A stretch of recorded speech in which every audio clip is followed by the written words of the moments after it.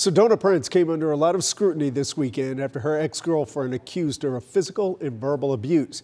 The petition is still circulating tonight and has more than 160,000 signatures. Prince put out a statement calling the accusations inaccurate, false narratives. It says she's taking some time off to focus on her well-being. We just checked with TCU and a spokesperson confirmed she's still on the team.